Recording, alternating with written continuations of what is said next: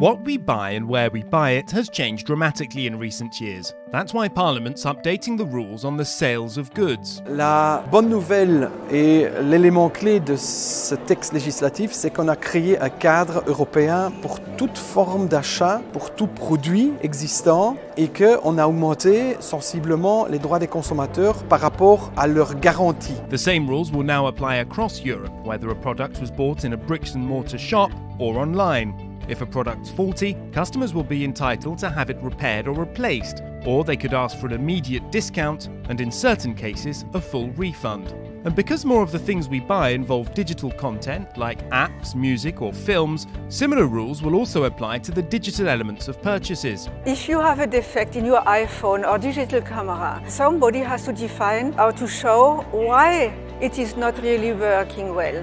It is a software or it is a good. And a normal consumer is not able to, uh, to show it. So from now on, customers won't have to prove that software or the digital element of a product was deficient for up to one year after purchase, doubling the current six month limit. And this also applies when customers provide data in exchange for a service like a social media account.